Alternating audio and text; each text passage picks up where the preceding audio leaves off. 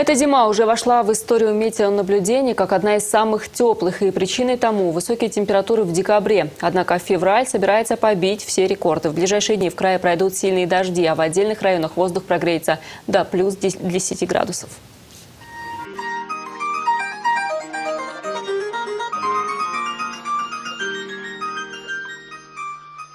Так не заметишь, как и весна придет, а зимы толком и не было. И если в известном советском мультфильме «Черепаха» действительно долго собиралась на прогулку, то нам весну все же придется подождать.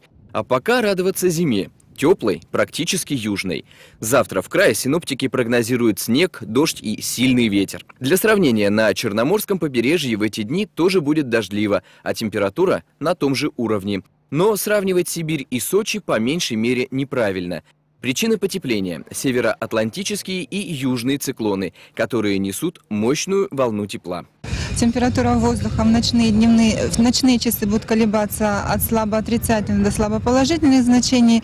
Э, Днем столбик термометра перейдет в красный сектор.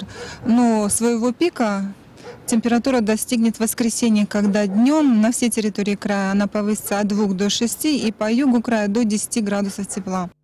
После этого потепления синоптики вновь прогнозируют похолодание, причем существенное, зима как-никак. Называть ее самой теплой за всю историю метеонаблюдений они пока не берутся, но в десятку самых теплых она уже попала.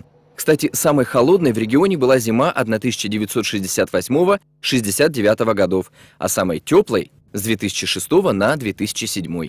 Пока точно можно сказать лишь одно, что потепление в Алтайский край уже пришло. И началось оно, как ни странно, с северных и западных районов региона. Распространится на весь край уже в ближайшие часы.